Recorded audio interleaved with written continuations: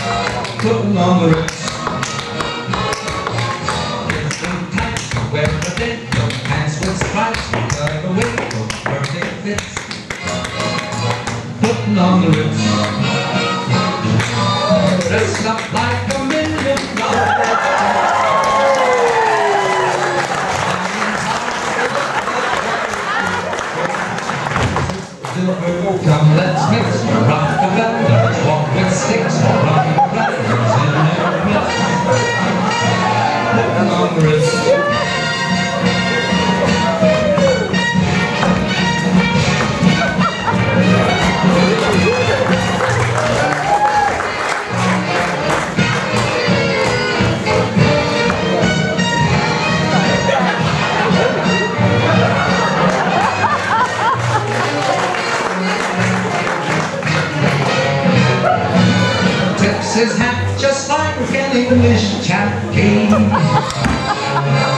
To a lady with a red cap king Her snap, the quail, the cup king There, and it was smart, smart bits